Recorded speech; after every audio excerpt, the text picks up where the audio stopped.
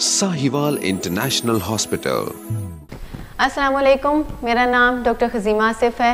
मैं Sahiwal international hospital में as a consultant physical therapist काम करती हूँ। फ़िज़ियोथेरेपी एक जदीद तरीका इलाज है। इसमें मशीनों से और वर्जिशों से आपके पट्ठों और जोड़ों के हर तरह के मसलों का हल जो है वो किया जाता है। आज हम बात करेंगे सीपी चाइल्ड पर डिलेड माइलस्टोन्स के बच्चे या ऐसे बच्चे जो कि पैदाइशी जिस्मानी तौर पे कमज़ोर होते हैं। ऐसे बच्चे में बठों की कमज़ोरी होती है बठ बठों में खिंचाव आ जाता है, बच्चा जो है वो अपना बैलेंस नहीं रख पाता, बच्चा जल्दी चल नहीं पाता, वो ठीक से खड़ा नहीं हो पाता, चलता है तो गिर जाता है। इस तरह के मसले बच्चे में आ जाते हैं बच्चा अपना काम खुद से नहीं कर पाता।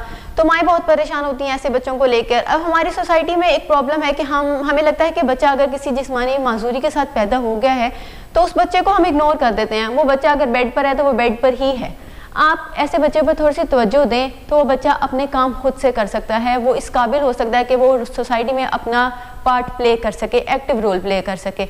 अच्छा ऐसे बच्चों में हम सिम्टम्स की बात करते हैं तो मैंने अभी पहले बताया कि पटों में खिंचाव हो जाता है पट्टे कमज़ोर होते हैं स्ट्रेंथ नहीं होती, बच्चे में बैलेंस नहीं होता, बच्चा कोऑर्डिनेशन में वीक होता है तो ये सब जो मसले हैं, इनको हल किया जाता है, इनकी स्पेशलाइज ट्रेनिंग की जाती है। हम बच्चों को यहाँ पर ट्रेनिंग से ट्रेनिंग करते हैं, उनकी एक्सरसाइज ट्रेनिंग करते हैं, उनकी स्ट्रेंथ ट्रेनिंग करते हैं, उनका बैलेंस इंप्रूव किया जाता है, बच्चों को कोऑर्डिनेशन एक्टिविटीज़ सिखाई जाती हैं। अब इसको करने का क्या तरीका है? माएँ परेशान होती हैं कि हमारा बच्चा कोऑपरेट नहीं करता एक्सरसाइज करते हुए, वो वर्जिश करवाता नहीं है तो वो बच्चा है, वो कभी भी आपसे वर्जिश नहीं करवाएगा। आप ये ना सोचें कि बच्चे जो है वो आपके पास एक घंटा बैठेगा और आप उसके हाथ पाँव हिला लेंगे और वो आपको हिलाने देगा। ऐसे नहीं होता।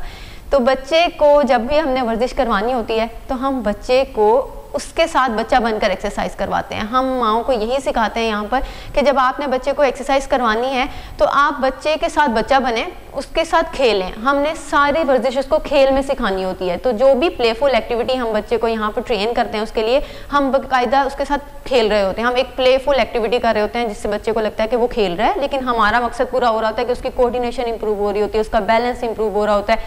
वो खुश रहने लग जाता है। अब कौन सी माँ ऐसी है जो चाहेगी कि मेरा बच्चा खुश ना रहे, वो बाकी बच्चों के साथ ना खेले। क्यों वो बेड पे लेटा रहे? वो आपकी सोसाइटी का उतना ही पार्ट प्ले करता है जितना कि आम बच्चे करते हैं। तो अपने बच्चे पर थोड़ी सी तवज्जो और थोड़ी सी मेहनत अगर आप करें तो आपका बच्चा जो है वो इम्प्रूव हो सकता है। हमारे पास यहाँ साहिवाल इंटरनेशनल हॉस्पिटल में हर तरह की फैसिलिटी मौजूद है। हमारे पास जदीद मशीनें हैं, जदीद आलात से और वर्जिश से हम इस, ऐसे बच्चों का इलाज करते हैं। उनकी ट्रेनिंग की जाती है और वो फिर अपनी सोसाइटी में अपना अच्छा रोल प्ले करते हैं। इसी तरह की मज़ीद मौसर टिप्स के लिए हमारे YouTube चैनल को लाइक करें सब्सक्राइब करें और अगर आपका कोई सवाल है तो नीचे डिस्क्रिप्शन में लिखे हम आपको उसका मौसर जवाब देंगे। हमारे साहिवाल इंटरनेशनल हॉस्पिटल को ज़रूर विज़िट कीजिए शुक्रिया। Sahiwal International Hospital, Montgomery Homes, opposite Journal Bus Stand, Sahiwal. 040 451 2099 450 2220 450 Call us on our UN number triple one triple five double five zero.